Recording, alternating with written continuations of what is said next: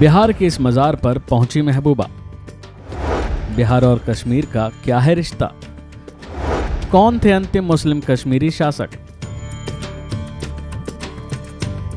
बिहार में 23 जून को विपक्ष की बड़ी बैठक हुई, जिसमें विपक्ष की लगभग सभी पार्टियाँ मौजूद रहीं।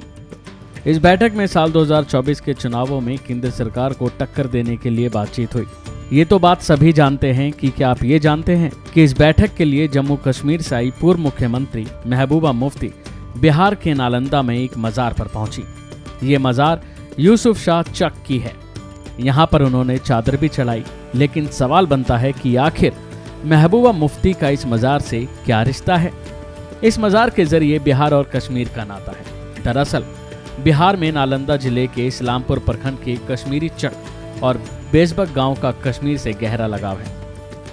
कश्मीर के अंतिम शासक यूसुफ शाह का इतिहास यहीं से जुड़ा हुआ है। उन्होंने अपनी ज़िंदगी का आखिरी वक्त यहीं बिताया।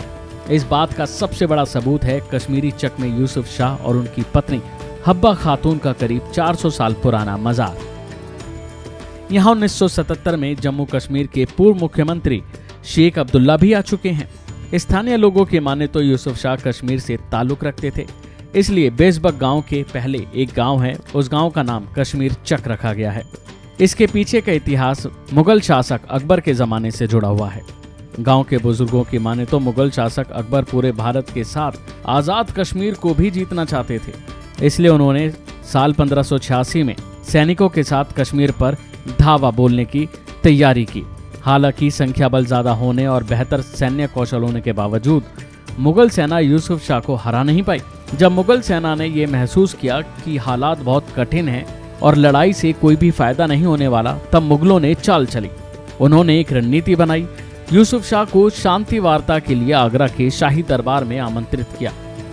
युवा राजा ने निमंत्रण स्वीकार कर लिया और अपने मंत्री और कमांडरों के मना करने के बावजूद भी आगरा के लिए रवाना हो चले। लेकिन अकबर ने मुलाकात के बाद यूसुफ शाह चक को गिरफ़्तार कर लिया। कई दिनों बाद अकबर ने इस शर्त के साथ यूसुफ शाह को रिहा किया कि वह लौटकर कश्मीर नहीं जाएँगे। दिसंबर पंद्रह तक कैद में रखा। यूसुफ शाह ने इस्लामपुर नालंदा की तरफ़ अपना रुख किया। उसने कश्मीर चक नाम से ही एक नगर बसाया।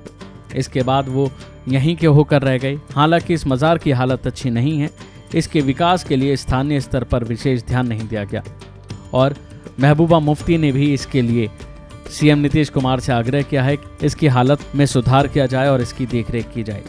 ज़ाहिर है कि यूसुफ शाह चक ने पंद्रह से पंद्रह तक कश्मीर पर शासन किया और वह स्वतंत्र कश्मीर के अंतिम मुस्लिम शासकों में से एक थे।